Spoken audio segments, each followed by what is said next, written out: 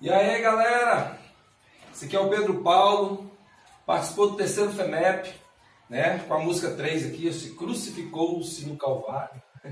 É um rapazinho que. Maria de primeira viagem. E Pedrão, o que, você tem a dizer do, do projeto aí? O que, que você achou da experiência? Ah, foi muito bom, principalmente pela oportunidade que nós tivemos, né? Escrever a música foi a primeira vez que eu escrevi mesmo. É...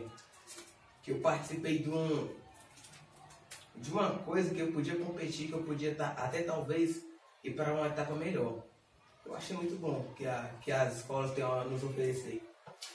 Pedro, como eu falei antes para o Carlos, é, não desista dos seus sonhos, continue compondo, acho que o caminho é esse, trabalho autoral, vocês todos estão de parabéns, acho que esse projeto, a, a única é, missão que a gente tem aqui é dar visibilidade justamente a talentos igual a vocês aí que estão nas escolas, tá? Te agradeço por ter participado, espero que você possa participar dos próximos que vêm, é, que nossos gestores olhem com carinho aí para o alcance desse projeto, né?